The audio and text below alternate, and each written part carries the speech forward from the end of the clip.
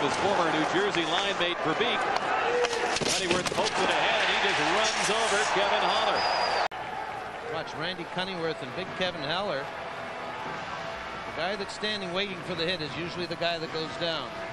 Off handles it. Sanderson. Now the Canadiens will go on their second power play. Geoff Sanderson right here gets a boarding call, I believe they call it. No, cross-checking. Against Hartford, Haller sets up with a shot, lets it go. Pietrangelo the save. And we've got Dionne and Conroy pushing and shoving. Savard tossed to the ice by Yvon Corriveau. McCreary had one called against Hartford, and he might have a handful more involving players from both teams before it all settles. Whistle goes now, and this is how it all started. 14, Kevin Haller, two minutes for roughing. For Hartford, number 20. All right, there's one penalty call. You see McCreary with his, uh, there's Conroy with the right. And here's Houda again, I guess he's going to get called for this. I, I don't know, see how Houda got four minutes unless... Well, it ended with Houda. Oh, okay. Sir Kirk Muller winds it back around to Brisebois.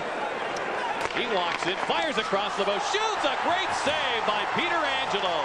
Muller to Brisebois, winding, firing, deflected, they score! Shayne Corson on the tip in has made it 1-0 Montreal. Centers, it's off a couple of legs. Richards getting it in front. Zalapski shoots, he scores! And they continue their battle. Savard ducked under.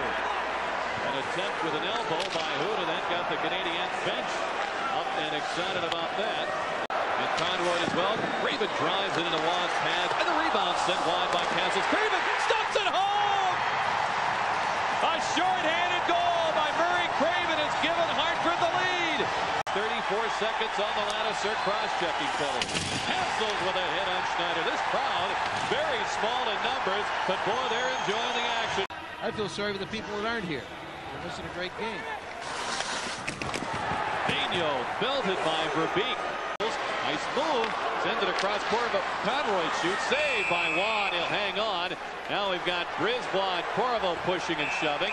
Shank is getting into the middle of things. Verbeek over for the steal. Knocked down by McPhee. He was ready to plead his case. There wasn't a penalty call. Cullen shoots. He scores! Road in the regular season. McPhee had only four goals on the road. Two on one. Craven and Corriveau. Craven shoots. Scores! Could not. Takes on Bobby Holik, who just muscles him right out of there. You know, then the point's open. It's just, uh, you, you should never leave the front of the net. Off the boards. Bounces out of play. Now Nilan high sticks Pat Verbeek. Now we'll see what the officials come up with here. They were calling everything that moved earlier in the game. Let's see what the, the verdict is. The verdict is, uh, I didn't see it. Solansky gives it to Verbeek. Beating it through. Kulak cutting and shooting. He scores! On his 19th birthday, Patrick Poulin. Number now we've got Nilan and Houda set to go, and Nilan gets a right hand free. Houda's trying to get his balance and get his bearings. That Houda's played a heck of a hockey game tonight. And I really didn't think Nilan was on to tie this game up.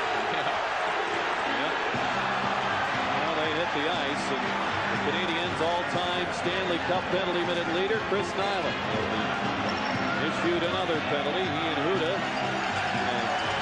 pretty good tug of war, and not much else. With 3:27 to go. But who's winning this game?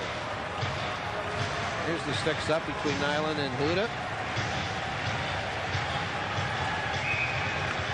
They're, uh, they're, they're minor league team, one of the best minor league teams in the, uh, in the American League, I should say.